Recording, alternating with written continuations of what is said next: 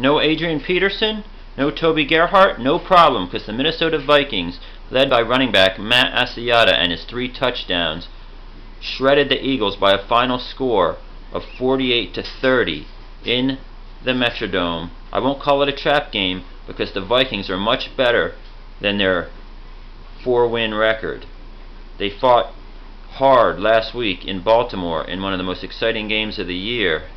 Have lost several games in the final minute, but this time the Eagles couldn't get close enough to strike. And I blame it on Chip Kelly, who's done a masterful job coaching the Eagles this year.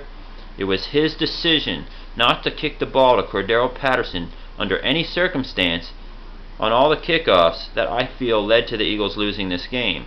You've got to have confidence in your special teams coverage. You can't play afraid. You can't play not to lose, and that's what they did. So when the Eagles finally drew to within five points going into the fourth quarter, what do they do? They give Minnesota the ball back almost at midfield.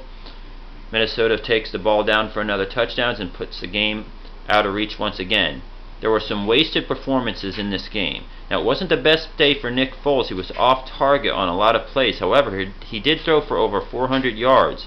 And DeSean Jackson was the star for the Eagles in this game, putting up 195 yards receiving with 10 catches and a touchdown.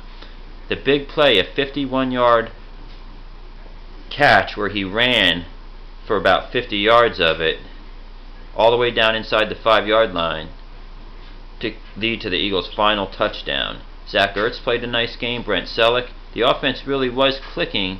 Just as I said earlier, Foles was a little off target and they never had enough time of possession, or should I say, possessions in general, because the Eagles defense couldn't get off the field.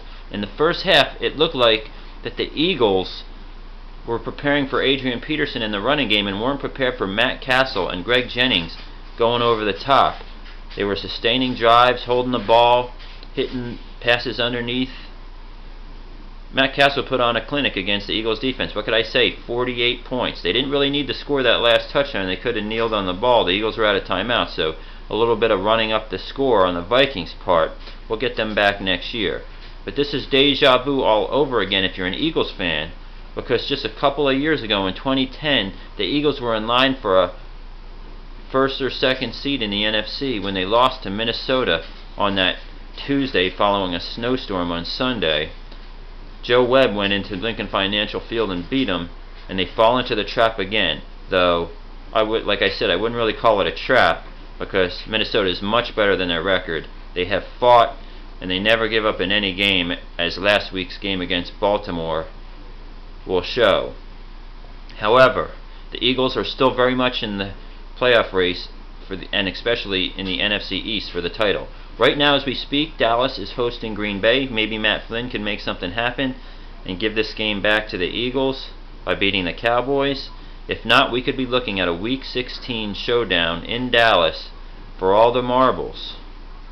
But the Eagles will have to beat the Bears next week to make that a possibility because the tiebreaker goes for the Cowboys. The Eagles really had a chance to grab the bull by the horns and failed to do so. However, they did win five straight going into this loss. You can't win every week.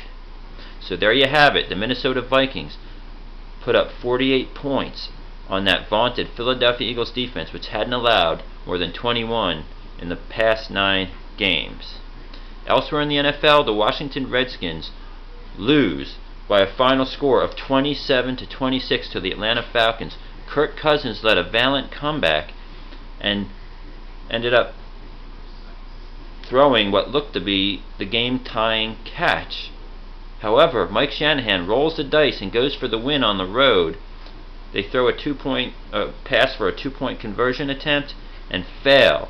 Another, I guess this guy knows he's getting fired, and uh, he said, "What the heck? What's win, lose, or get out of here?"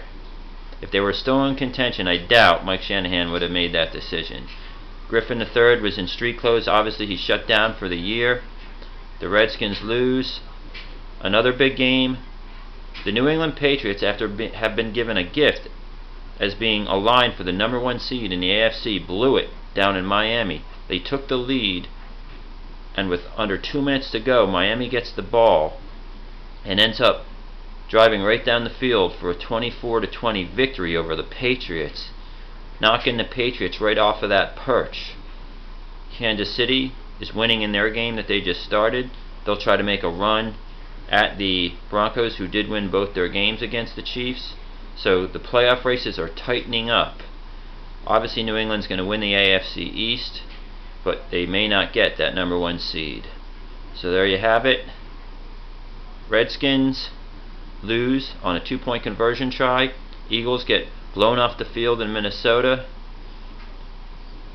And the New England Patriots lose possibly their chance to represent the AFC.